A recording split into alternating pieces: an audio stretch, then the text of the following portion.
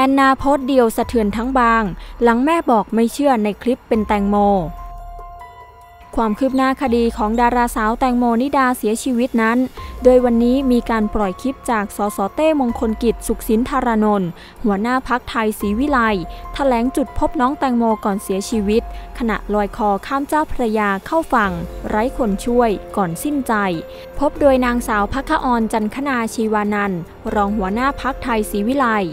โดยต่อมาได้มีการถแถลงจากทนายเดชาและแม่ของแตงโม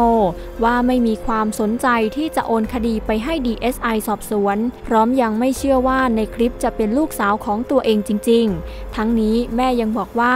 ให้ตำรวจสรุปคดีแท้จริง ๆตำรวจอาจจะมีอะไรในมือแล้ว แต่ยังบอกไม่ได้โดยแอนนาทีวีภูเพื่อนสนิทของแตงโมนิดาได้ออกมาโพสต์ข้อความก่อนหน้านี้ว่า เรื่องจริงบางทีชีวิตก็ยิ่งกว่าละครนะ และเธอยังได้เข้ามาแสดงความคิดเห็นอีกว่าฝากทุกคนตามข่าวทีนะคะทำไปทำมาแฟนละครแฟนคลับคือครอบครัวที่แท้จริง หลายคนคงเข้าใจผิดว่าทำไมเพื่อนถึงรักเขามาก เพราะเขาเป็นคนดี เขาไม่มีใครเลย ชีวิตต้องสู้มาตลอด แม้กระทั่งนาทีสุดท้ายของชีวิตเขาก็สู้ ขอขอบคุณข้อมูลจากเว็บไซต์ T-News